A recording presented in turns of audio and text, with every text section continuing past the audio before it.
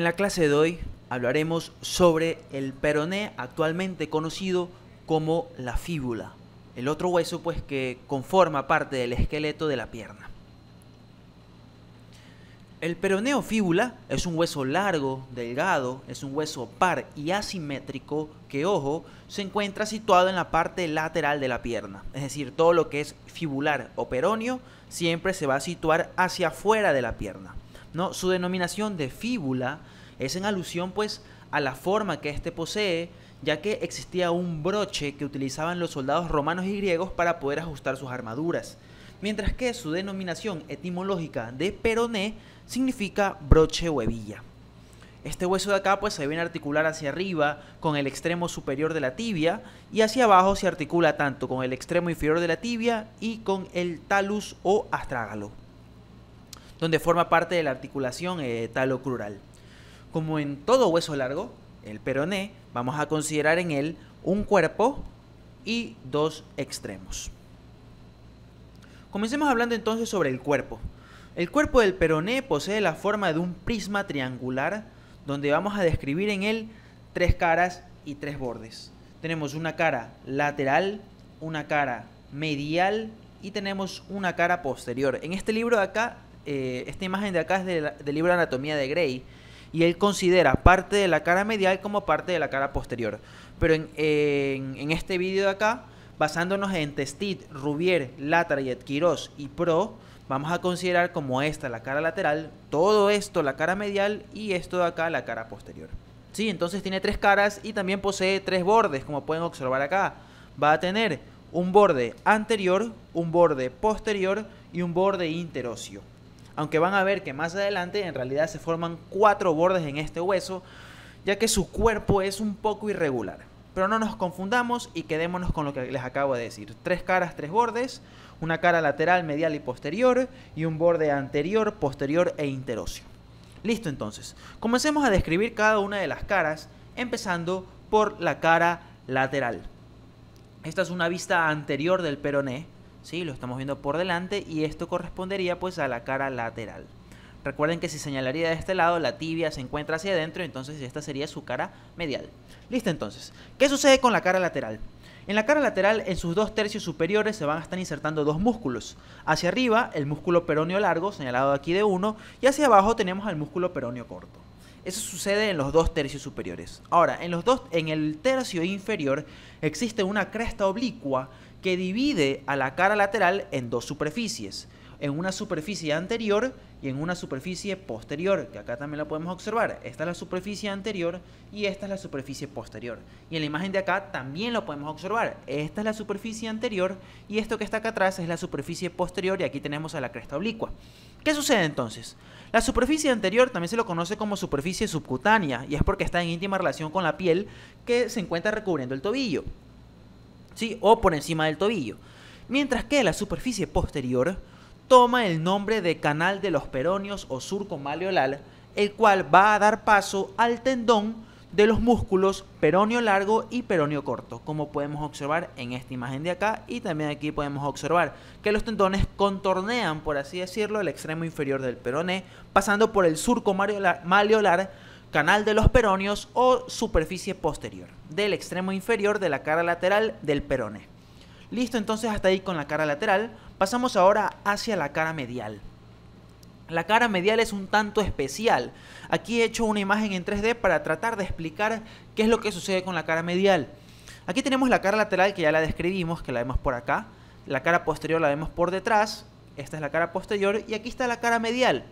Sucede que la cara medial tiene su propio borde, que es el que se lo conoce como borde interóseo. Y la presencia de este borde divide a la cara medial en dos segmentos, en un segmento anterior y en un segmento posterior. El segmento anterior únicamente va a ser visible desde una vista anterior y el segmento posterior únicamente va a ser visible desde una vista posterior.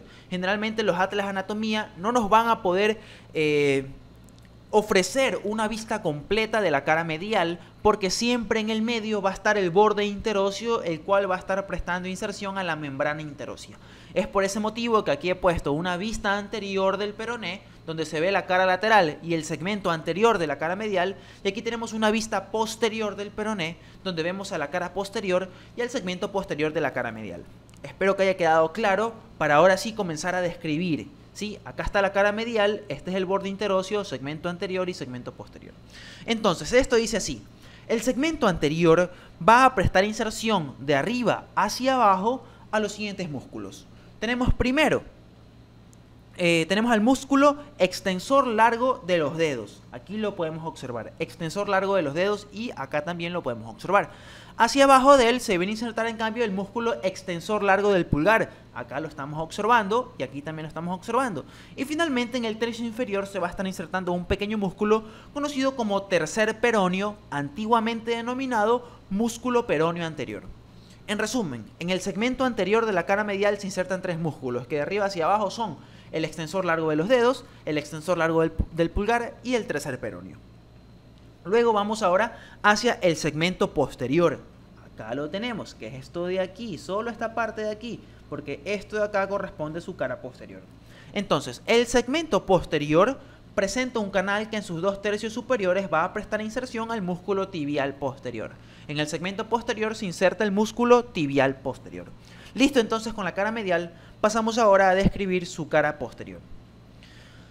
Yo sé que es un poco confuso esto de las caras e incluso en la práctica se vuelve un poco más difícil, pero para poder eh, facilitarles el reconocimiento de sus caras, ustedes simplemente cogen el hueso y buscan el foramen nutricio. El foramen nutricio del peroné o de la fíbula siempre se encuentra en el tercio medio de su cara posterior. Eso es lo característico, chicos. Así ustedes pueden colocar el hueso en posición anatómica porque ya reconocen su cara posterior. Y ese es el primer detalle de describir. Más o menos a esta altura solemos encontrar el foramen nutricio del peroné, en el tercio medio de la cara posterior. Ahora, en su tercio superior se viene a insertar el músculo sóleo, que es el que estamos eh, viendo aquí. Mientras que en el tercio medio se viene a insertar el músculo flexor largo del pulgar, que es el que estamos viendo por acá. Y finalmente, pues el tercio inferior, aquí sucede algo muy especial. El tercio inferior de la cara posterior rota, ¿sí? sufre una torsión de tal manera de que si la cara posterior pasa a ser medial, mientras que, mientras que la cara lateral pasa a ser posterior, formando el canal de los peronios. No sé si ustedes se recuerdan en la imagen de acá, se los voy a retroceder. ¿Sí? La cara lateral pasa a ser posterior, mientras que la cara posterior pasa a ser medial. Sufre una rotación más o menos, por así decirlo, sobre su propio eje. Pero lo importante sobre la cara posterior son sus inserciones musculares. El foramen nutricio, hacia arriba el sóleo y hacia abajo el flexor largo del pulgar. Listo entonces con las caras, pasamos ahora a describir los bordes. Los bordes del peroné en realidad son bastante complicados de poder separarlos. Eh, Testit nos habla de un borde anterior, de un borde medial y un borde lateral, pero los libros actuales nos hablan de un borde anterior, de un borde posterior y de un borde interóseo. El borde anterior es el que se conoce como eh, la cresta de la fíbula. Es un borde cortante muy fácil de reconocer. Pero lo que sucede es que este borde anterior, más o menos a la altura del tercio medio del peroné, se une con el borde interóseo, que es el que también estamos viendo acá. Y ya sabemos pues que a partir del borde interóseo se viene a insertar la membrana interósea de la pierna, que une ambos bordes, tanto el borde medial como el borde medial del peroné con el borde lateral de la tibia. Luego tenemos por acá un borde posterior, conocido antiguamente como borde lateral según Testit, este aquí pues va a prestar inserción al tabique intermuscular que separa a los músculos del compartimiento posterior de la pierna con los músculos del compartimiento lateral de la pierna. ¿Sí? Eso es en el borde posterior. Y listo entonces chicos, hemos terminado hasta aquí. Con los bordes, ahora vamos a pasar a describir sus extremos. Empezando pues por el extremo superior de la tibia. Perdón, del peroné. El extremo superior del peroné es también conocido como cabeza del peroné. Como pueden observar, pues es una estructura cónica de base superior donde vamos a describir una carilla articular, un cuello y un vértice de la cabeza. Entonces empecemos describiendo la carilla articular. Esta carilla articular es una superficie de forma oval, casi plana, que está destinada a articularse con su homólogo a otra superficie articular que recordemos que se encuentra en la cara posterior del cóndilo lateral de la tibia, del extremo superior de la tibia. Lateral a esta carilla articular vamos a encontrar una pequeña eminencia denominada vértice de la cabeza. Actualmente, ese es el nombre actual, antiguamente conocida como apófisis estiloides del peroné. Es esta estructura acá que estoy eh, encerrando. Este vértice de la cabeza pues va a prestar inserción a dos estructuras. Primero, al bíceps femoral, ¿sí? va a prestar inserción al tendón inferior del bíceps femoral. Y también va a prestar inserción al ligamento colateral peroneo, que son los que acá estoy señalando. Listo entonces. Ahora, por delante de este vértice de la cabeza se viene a insertar un músculo. Hacia adelante y hacia atrás del vértice se insertan dos músculos. Hacia adelante se va a estar insertando el músculo peroneo largo y hacia atrás se va a estar insertando el músculo sóleo. ¿Sí? A ver, les repito estas partes por si es que no quedó claro. Entonces, tenemos que en el vértice de la cabeza se insertan dos cosas. El tendón inferior del bíceps femoral, que aquí está cortado, y también el ligamento colateral peroneo. Hacia adelante se inserta el peroneo largo, hacia adelante del vértice de la cabeza, y hacia atrás del vértice de la cabeza se viene a insertar el sóleo. Y finalmente, pues, toda la cabeza del, del peroné se encuentra unida al resto del cuerpo gracias al cuello de la fíbula. Y aquí viene algo importantísimo, chicos. Esto se los van a tomar sí o sí, ya sea en el, ya sea en el cadáver o en un examen eh, teórico. La parte lateral del cuello del peroné es contorneado por el nervio peroneo común o nervio fibular común, el cual luego de esto penetra en otro músculo para finalmente bifurcarse en sus dos ramos terminales. Pero eso lo veremos en el vídeo de nervio ciático. ¿Sí? Muy importante esto, la relación del cuello del peroné con el nervio fibular común o nervio peroneo común, que aquí lo estoy demostrando. Pasemos ahora a hablar sobre el extremo inferior. El extremo inferior del peroné eh, posee una eminencia cónica también que corresponde al maleolo lateral. Recuerden que en la tibia, en su cara medial, encontrábamos al maleolo medial. Ahora, el extremo inferior del peroné se lo conoce como maleolo lateral. Este maleolo lateral, pues para su estudio va a ofrecer tres caras, eh, dos, tres bordes y un vértice. Tres caras, tres bordes y un vértice. Pasemos a escribir primero cada una de las caras. Tiene una cara anterior, que aquí la estamos observando, una cara posterior y tiene una cara medial, que es la que se encuentra aquí. Toda esta es la cara medial, ¿sí? Recuerden, cara anterior, cara posterior, Aquí se ve cara anterior, cara posterior y la cara medial. Listo entonces.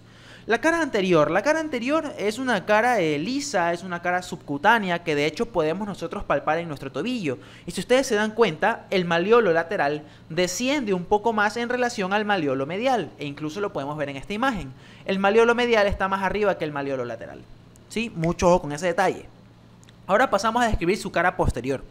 En la cara posterior como ya lo hemos descrito en cara lateral, y recuerden que yo les dije que la cara lateral contorneaba y se iba para atrás, en esta cara posterior del extremo inferior o en la cara posterior del maleolo lateral, vamos a encontrar al surco maleolar por donde pasan los tendones de los músculos peroneos, tanto el peroneo largo como el peroneo corto. Este es el que antiguamente se lo conocía como canal de los peroneos. Finalmente tenemos a la cara medial, que aquí la estamos viendo en todo su esplendor. La cara medial, por así decirlo, es la más importante de todas y de arriba hacia abajo presenta las siguientes estructuras. Primero, va a presentar a esta altura una superficie rugosa, la cual va a prestar inserción a la membrana tibioperónea o membrana interósea de la pierna, que acá también la estamos observando.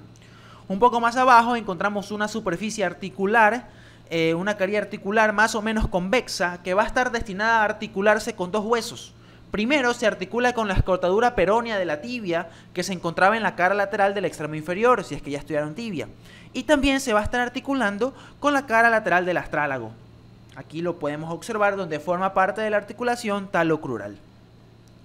Debajo de esta carilla articular encontramos una gran depresión más o menos ovalada que va a prestar inserción al ligamento taloperoneo posterior, que es el que estamos observando aquí, antiguamente conocido como ligamento peroneo estragalino posterior. Listo, entonces, hasta aquí hemos descrito las caras. Vamos ahora a pasar a describir los bordes. El malleolo lateral posee tres bordes. Un borde anterior, que es el que observamos aquí. Sí, este es el borde anterior. Tiene un borde posterior, que es el que observamos acá. Y tiene un borde eh, lateral que en realidad no tiene ninguna importancia. El borde lateral es el que podemos palpar eh, sobre la piel del tobillo. Entonces, ¿qué sucede con el borde anterior? El borde anterior va a prestar inserción a tres ligamentos, los cuales de arriba hacia abajo son los siguientes.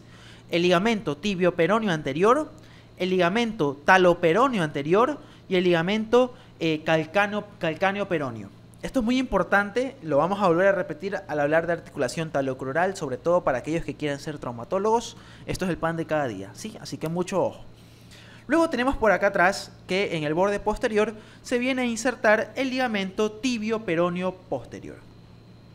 Sí, aquí está, ligamento tibio peroneo posterior, es el que está aquí, perdón. Ligamento tibio peroneo posterior. Este, este de acá es el ligamento eh, taloperoneo posterior, ¿sí? Así que no se confundan, chicos. Y listo entonces, hasta aquí ha sido todo por hoy. Espero que les haya gustado el vídeo. Eh, voy a tratar de terminar el sílabo de miembro inferior. Aún me falta hablar de nervio ciático, vasos los vasos eh, tibiales y peroneos, pero bueno, trataré de completarlo. No se olviden de seguirme en mis redes sociales y sin más que decir, me despido. Adiós.